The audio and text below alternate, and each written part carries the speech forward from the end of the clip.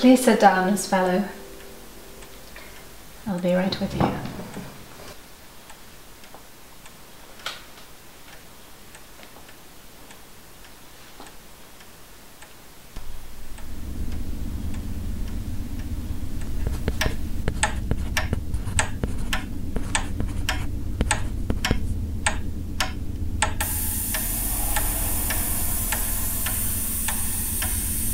Now, from where do you come from?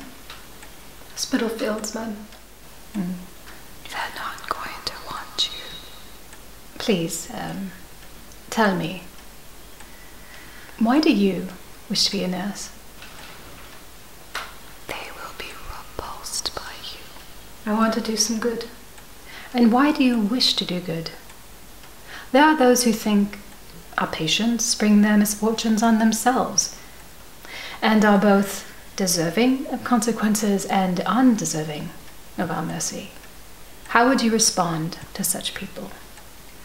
If I remember right, Jesus didn't hold much company with No one wants to be around you. swells and toffs. Jesus ministered the sick and affected. True. They will be repulsed by you. You have read the Bible. I have, ma'am. You're just a bag of meat. Remove your shawl, please. They are afraid of your face. Ma'am, It seems you are hiding something. They don't want you.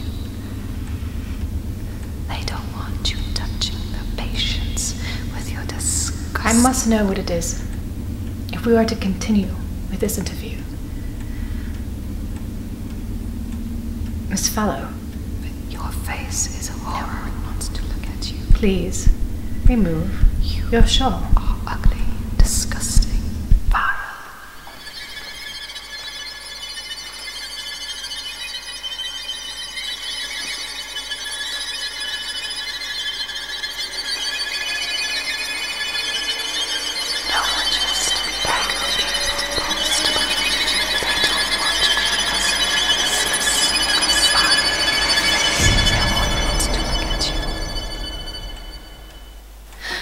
Phosphorus necrosis.